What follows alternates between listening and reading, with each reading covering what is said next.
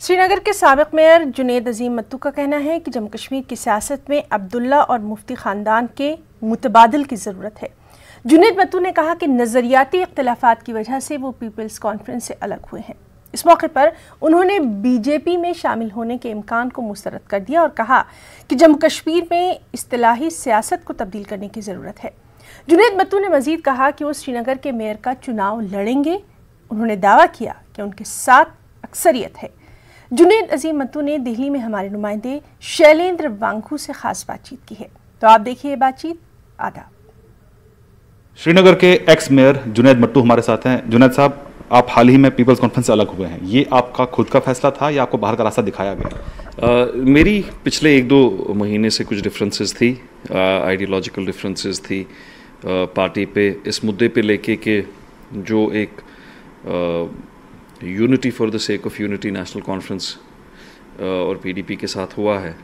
Uh, उससे एक alternative national conference का बनना जो बहुत ज़रूरी है uh, जम्मू और कश्मीर की सियासत में uh, वो एक उसकी एक कैजुअलिटी बन गई है। और मेरा ये मानना है कि नेशनल कॉन्फ्रेंस बहुत इनसिंसेयर और डिसइनजनवस है। वो ईमानदारी से गुप्कार डिक्लेरेशन में भी नहीं है।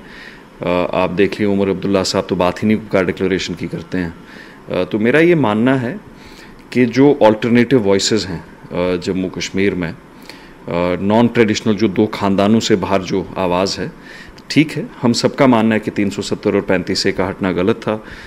यूनियन टेरिटरी को वापस स्टेट में बहाल करना चाहिए।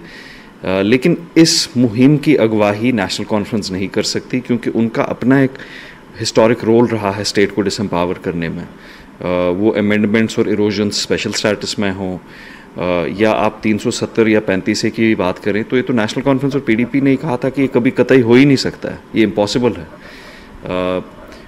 तो मेरी वो डिफरेंसेस जो पार्टी का स्टेटमेंट भी आया है, उनने भी कहा है कि वो एक हकीकत है कि कुछ काफ़ी अरसे से हमारी आपस में डिफरेंसेस हैं। तो प्योरली ऑन आइडियोलॉजिकल बेसिस मेरी सजाद साहब के साथ पर्सनल रिलेशन है और वो रहेगी भी मैं उनकी बहुत इज़्ज़त करता हूँ।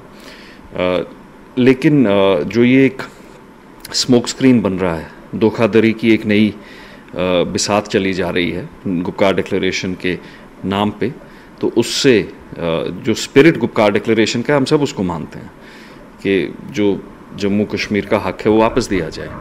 लेकिन जो लुटेरे होते हैं वो वापस तो नहीं दे सकते। जो कल्प्रिट और मुलजिम हो सकते हैं वो विक्टिम भी नहीं हो सकते। तो ये मेरी नज़रियाती एक थोड़ी उनके साथ डिफरेंस इस बात पे रही है। एक सवाल ये भी उठता है कि श्रीनगर म्यूनसिपल कॉरपोरेशन में पिछले कुछ समय से काम भी नहीं हुआ लेकिन करप्शन चार्जेस अब सामने आ रहे हैं। इस पर क्या कहेंगे? चार्जेस मुझे लगता है मैक्सिमम चार्जेस प्रूव हुए हैं कि अनसब्सटैंशिएटेड है। म्यूनसिपल कॉरपोरेशन में भी एक देखिए आयरनी ये रही है कि नेशनल कॉन्फ्रेंस ने कहा, हमने इलेक्शन लड़ा नहीं, लेकिन प्रॉक्सीज उनने उठाए थे। आज उनके डिप्टी मेयर हैं। वो डिप्टी मेयर गुप्कार डिक्लेरेशन की ही स्पिरिट में यूनिटी की स्पिरिट में ही मैंने उनको सपोर्ट करके बनाया था जब पोस्ट फिफ्थ अगस्त सिनेरियो में। लेकिन उसके बाद नेशनल कॉन्फ्रेंस के सीनियर लीडर्स वो किस पार्टी से नहीं मिले? यहाँ से तो गुप्कार डिक्लेरेशन की बात कर सक, करते हैं। वहाँ से तो उनके जो यूथ प्रेसिडेंट है, वो सब पार्टीज़ के साथ इन टच हैं। अभी भी वो उन लोगों को फ़ोन कर रहे हैं जो कार डिक्लेरेशन के अपोज हैं। तो म्यूनसिपल कॉरपोरेशन में ये जो एक हवा बनाया गया करप्शन का that has been expose there is nothing like it और मैंने तो बार बार ये कहा है कि मैं तो हाई कोर्ट को भी अपील करता हूँ कि उसकी प्रोब करें। The highest investigation agencies municipal corporation ने पिछले डेढ़ साल में श्रीनगर में एक बहुत अच्छा रोल प्ले किया है। प्राइम मिनिस्टर लेवल पे भी हमें टॉप 15 में माना गया। 457 रैंक से हम 36 रैंक पे कंट्री में आए हैं। तो काफ़ी जो लोग हैं वो इससे खुश नहीं हैं। तो उनका इम्पल्सिव एक डिसीज़न रहता है, फिर बदनाम किया जाए, एक इंस्टीट्यूशन की क्रेडिबिलिटी को इरोड किया जाए, और वो बहुत अनफॉर्चुनेट है। जो म्यूनसिपल कॉरपोरेशन के एम्प्लॉयज़ हैं, जो कॉरपोरेटर्स हैं उन्हें बहुत मेहनत की है। अभी भी मेहनत कर रहे हैं, लेकिन कोई मोटिवेटेड वॉइस होती हैं जो एक इंस्टीट्यूशन की क्रेडिबिलिटी को पॉलिटिकल रीजंस की वजह से कम करना चाहते हैं। पीपल्स कॉन्फ्रेंस से अलग होने के बाद अब आपने आगे का क्या सोचा? किसी पार्टी में आप शामिल होंगे दोबारा चुनाव लड़ेंगे मेयर का? नहीं मेयर का चुनाव चुनाव तो मैं बिल्कुल लड़ूँगा। तो हमने पिछली बार भी नॉमिनेशन फॉर्म भरा था लेकिन फिर डेफर हुआ पोल अब जब भी इलेक्शन होगा तो बिल्कुल हमारे पास नंबर्स हैं मेजॉरिटी है हम उसको प्रूव करेंगे।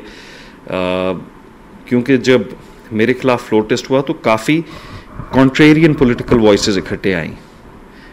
काफ़ी डिफरेंट पार्टीज़ इकट्ठे जो नॉर्मली एक अननेचुरल लाइन्स हैं। तो हमारे पास अभी भी वी हैव द नंबर्स जिसको हम इंशाल्लाह प्रूव करेंगे। पार्टीज़ के साथ देखिए लाइक माइंडेड वॉइस के साथ बातचीत ज़रूरी है डेमोक्रेसी में। लेकिन मुझे लगता है जम्मू और कश्मीर अभी उस कटघरे पे है जहाँ पे हम फिर से नेशनल कॉन्फ्रेंस को हाईजैक एस्पिरेशंस को एक्सप्लॉयट करना नहीं उनको नहीं दे सकते हैं। वो मौका देना उनको एक बहुत बड़ा गुनाह होगा कि वो लोगों को उनके जो इमोशंस हैं उसको एक्सप्लॉयट करें। और गुप्कार डिक्लेरेशन के नाम पे अपने सारे पिछले गुनाह मिटा दें। तो लाइक माइंडेड वॉइस से बातचीत तो होती रहती है। इस बीच ये भी खबरें हैं कि आप बीजेपी में शामिल होने वाले हैं। क्या बीजेपी में शामिल होने का ऑप्शन है? नहीं बिल्कुल ऑप्शन नहीं है। बीजेपी की डिफरेंट पॉलिटिक्स है। उनकी एक डिफरेंट सोच है और उनकी आइडियोलॉजी ओपन है और हमारी हमारे ख्यालात अलग हैं। हमारे जो पॉलिटिकल आइडियोलॉजिकल मूरिंग्स हैं वो कश्मीर में इन्वेस्टेड हैं। कश्मीर के लोगों के जो जज्बात हैं उनकी अक्सी करनी है। uh, तो ये ऑब्वियसली नई ऑप्शन नहीं है। Yes but it is very important to understand कि ये जो सारी बातें हैं अभी, एक ऐसा माहौल बनाया गया है कि अगर नेशनल कॉन्फ्रेंस से कोई डिसग्री करे तो वही नेशनल कॉन्फ्रेंस कहती है कि ये बीजेपी का आदमी है। आपने तो खुद नेशनल कॉन्फ्रेंस से बीजेपी के साथ अलायंस भी की। गुजरात राइट्स के दस महीने बाद तक आप एनडीए में भी रहे। और आप अभी भी नेशनल कॉन्फ्रेंस तो अभी भी उनके कुछ लीडर्स बीजेपी के साथ in touch in constant touch हैं। तो बिल्कुल ये कोई ऑप्शन नहीं है। What we are looking at is within J and K एक क्रेडिबल वॉइस इमर्ज हो, जो नेशनल कॉन्फ्रेंस और पीडीपी जो दो सियासी खानदान हैं वहाँ पे अब्दुल्ला और मुफ्ती, उनको कहें कि आप ठेकेदार नहीं हैं, आप मुलजिम भी और विक्टिम भी नहीं हो सकते। आप गुनाह भी करना चाहते हैं, आप कश्मीरी लोगों को धोखा भी देना चाहते हैं, लेकिन फिर आप उनकी वकालत भी खुद ही करना चाहते हैं। तो वकालत वो नहीं कर सकता जिसने धोखाधड़ी की हो। तो उस मद्देनज़र, उसको सब मद्देनज़र रखते हुए ये बहुत ज़रूरी है कि ऑल्टरनेटिव वॉइस इमर्ज हों। एक आखिरी सवाल पाँच अगस्त के बाद अब जो रीजनल पार्टीज़ हैं उनके लिए कहा जाता है कि इनका कोई मुस्तकबिल नहीं है कश्मीर में। पाँच अगस्त के बाद 2019 क्या लगता है आपकी जो रीजनल पार्टी जम्मू कश्मीर की है वो कहाँ स्टैंड करती है? देखिए रीजनल पॉलिटिक्स हमेशा रहेगी। और हम उस दौर में हैं politically all over the country की regional politics is on the rise क्योंकि the idea of India is based on different उसमें मैनिफेस्टेशंस हैं डिफरेंट सोच है कल्चर्स लैंग्वेजेस हैं। तो regional politics will not go away लेकिन हम फिर से जम्मू और कश्मीर की बात करें हमें वो ट्रेडिशनल रीजनल पॉलिटिक्स ख़त्म करनी है जिसकी वजह से आज हम स्टेट से यूनियन टेरिटरी बने हैं जिसकी वजह से हमारे हकूक़ आज हमारे पास नहीं हैं। तीन सौ सत्तर की बात करें forty four forty seven amendments हुई थी इसमें एरोजन से पहले तो वो किसने की थी? वो तो नेशनल कॉन्फ्रेंस और कांग्रेस ने मिलकर की थी। आ, जो फाइनेंशियल अटोनमी थी स्टेट की जीएसटी इम्प्लीमेंट हुआ स्पेशल स्टेटस को उस वक्त इरोड किया गया वो तो पीडीपी ने किया था। जे एंड के बैंक पे आरबीआई का जूरिस्डिक्शन वो किसने किया? वो तो पहले से हुआ है। uh, तो रीजनल पॉलिटिक्स रहेगी ज़रूरी है लेकिन रीजनल पॉलिटिक्स में एक रिवाइवल चाहिए जम्मू और कश्मीर में। एक वैसी रीजनल पॉलिटिक्स चाहिए जो लोगों को सच बोले धोखा ना दे अचीवेबल क्या है वो बोले और उनके इमोशंस ना एक्सप्लॉयट करे गवर्नेंस पे प्रोमिस करें। और जो अचीवेबल है रियलिस्टिक है प्रेगमेटिक है उसको ऑफ़र करें लोगों को और फिर उस बुनियाद पे लोगों से उनका अतमाद मांगे। ना कि वो जो पुरानी एक सियासत थी कि नेशनल कॉन्फ्रेंस कभी 370 पे वोट मांगती थी, कभी पैंतीस ए पे वोट मांगती थी, कभी मज़हब की बुनियाद पे भी उनने वोट मांगा है, फारूक साहब ने। तो ये एक एक्सप्लॉयटेटिव पॉलिटिक्स को रीजनल लेवल पे कश्मीर में चेंज करने की बहुत ज़रूरत है। जम्मू कश्मीर को हाल ही में नए एलजी के तौर पर मनोज सिन्हा वहाँ पर पहुँचे हैं। उनके काम काज को कैसे देख रहे हैं? उन्होंने जो जो डिसीज़न लिए हैं जम्मू कश्मीर को लेके, उनके परफॉर्मेंस को, उनके जो पुराने उनके काउंटर पार्ट थे, जो उनसे पहले जो एल थे, उनके मुकाबले कहाँ देखते हैं? बहुत इम्प्रेसिव रहा है उनका और मैंने ये पहले भी कहा है कि सियासत से परे होके ये कहना ज़रूरी है कि जो नए नए एलजी हैं, मनोज सिन्हा जी, उनका वर्किंग स्टाइल हैंड्स ऑन लग रहा है। वो एडमिनिस्ट्रेशन को ऐसे चला रहे हैं जैसे किसी स्टेट में एक हेड ऑफ़ द एडमिनिस्ट्रेशन चलाना चाहिए।